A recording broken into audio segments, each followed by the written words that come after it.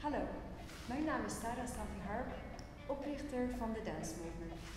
De Dance Movement was opgericht met als doel positieve beweging creëren door middel van dans en beweging. Eh, in deze tijden van chaos, oorlog en ellende in het Midden-Oosten voelen we heel sterk de behoefte om de mensen in die regio te steunen en onze positieve energie naar hen toe te sturen.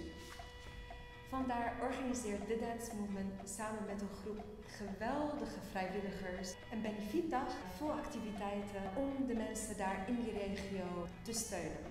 Benefiet voor het Midden-Oosten met titel Give Peace a Dance. Op deze dag zullen er heel veel verschillende inspirerende workshops gegeven worden door topinstructeurs.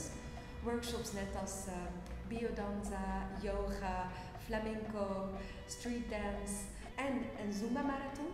Daarnaast zijn er kinderactiviteiten de hele dag door. Een markt met lekker eten, lekker drinken, kleren, accessoires. De bedoeling is dus al die donaties die we ophalen gaan ten gunst van de Palestine Children's Relief Fund. Een non-political, non-profit organisatie die vooral gericht is op kinderen en kinderen noodhulp te geven die ze nu heel hard kunnen gebruiken.